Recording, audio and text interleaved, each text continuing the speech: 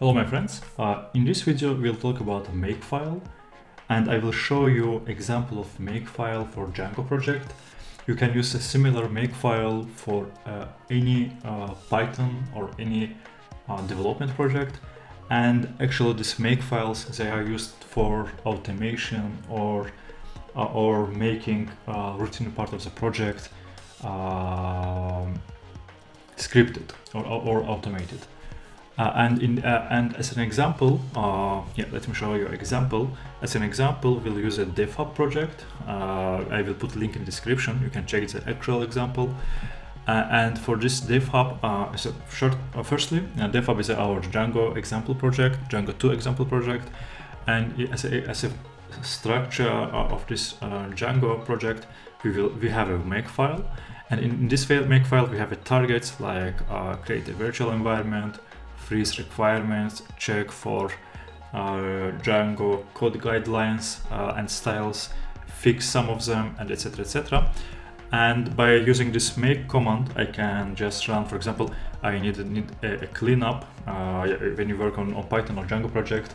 Uh, in your uh, local machine or in development, you can have cache files, you can have, for example, uh, tem temporary database files, and by automating commands like clean or cleanup, I can uh, have a short command like for example make clean and it will actually run all these commands for me. So this target uh, automated uh, steps for cleanup of my project. Another example is running the project. For example, if I want to run the project in Docker environment, I, yeah, so first of course you need to have a Docker compose and Docker file in your project structure. Uh, we will have another video with all these details, uh, details of Django's project structure. But for now, shortly, uh, yeah, we have a docker compose up command, which also build the, our docker docker file and docker compose conf configuration, and I can use just uh, make run docker, uh, which will set up and run this uh, project for me. And of course, you can have a few more uh, steps before running actual Docker Compose, but it is specific to the project.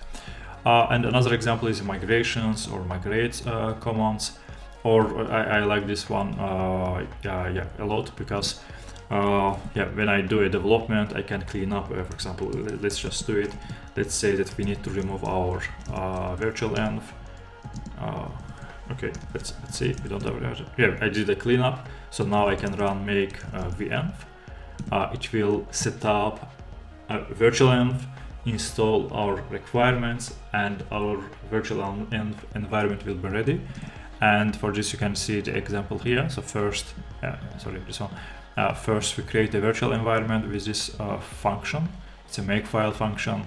And then using pip, we install our lo local requirements. Uh, yeah, for this specific project, I have a local and Docker requirements. Uh, we talk about this in another video. Uh, but but but shortly using this uh, target uh, I can create a virtual env and install requirements and when when I have a target I can just run make venv uh, as you can see uh, in, on the top of the file I have variables with all my project spec specification. For example there is my virtual env location of requirements file location of pip flake and other packages. Uh, I, and I can use these variables like this or commands like this and I can also have uh, dependencies. For example for my check command which checks for Python guidelines yeah we can run it right now make check. Uh, I have a dependency on my venv and same for my fix command. So and that basically means that when you run this command or this target it will first check for for this target. And if there is no virtual env it will install it and then run these commands. And that basically means that if you don't have virtual env uh, this command will not fail it will first try to create a virtual env uh, that's quite useful file in, in, your project in your structure uh, and you can use uh, this uh, example as a baseline uh, and as a base format and add your additional commands on top of it uh, I will, as I said, I will put link uh, to the repository in description. You can check it out by yourself. Uh, for now, thank you very much for watching and see you in next videos. Bye bye.